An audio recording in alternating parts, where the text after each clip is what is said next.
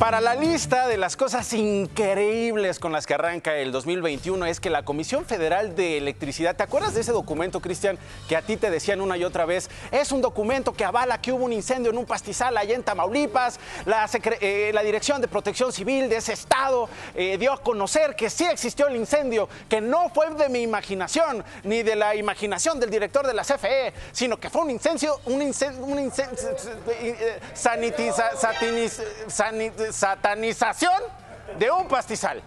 ¿Sí o no? ¿No lo decían una y otra vez? Pues ¿qué crees, hermano? Algo inaudito, de verdad. Pero pues este es el país inaudito, ¿no? La tierra inaudita. La Comisión Federal de Electricidad Inaudita admitió que el documento de protección civil de Tamaulipas sí era falso. Y que el que presentó, fíjate nada más, el director de la CFE, Manuel Bartlett, en una conferencia de prensa, era, era falso. Y pues van a investigar quién hizo esa travesura, Cristian, porque esas cosas no se hacen. Manuel Bartlett, director de la CFE, explicó que el oficio era apócrifo, aunque detalló que el incendio sí ocurrió.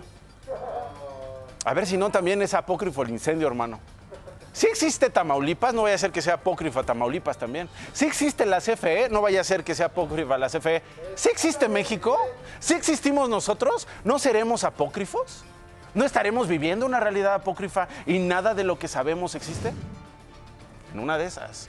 Dice la CFE que el incendio que supuestamente puso en riesgo dos líneas de transmisión de la energía sí ocurrió en pastizales de la entidad.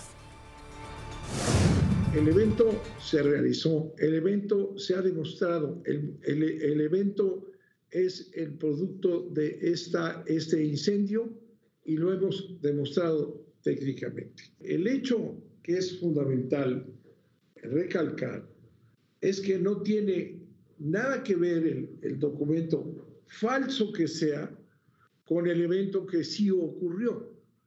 Bueno, todas las pruebas las, eh, el pasto quemado, las fotografías, todo eso demuestra que sí ocurrió ese fenómeno y sus secuelas. En relación con, con este documento apócrifo, debe de investigarse. Desde luego ya lo estamos haciendo nosotros. ¿Sí quedó claro, Cristian? No quedó claro, a ver, te explico. El documento apócrifo no existió, pero sí existió el incendio. Aunque el documento apócrifo no haya existido y el incendio haya sido apócrifo, la virtualidad de un documento apócrifo que sí existió en un estado que tal vez no exista, en un país que yo no sé si sea apócrifo, provocaron un incendio en un pastizal. Porque primero soy apócrifo y luego existo. ¿Está claro?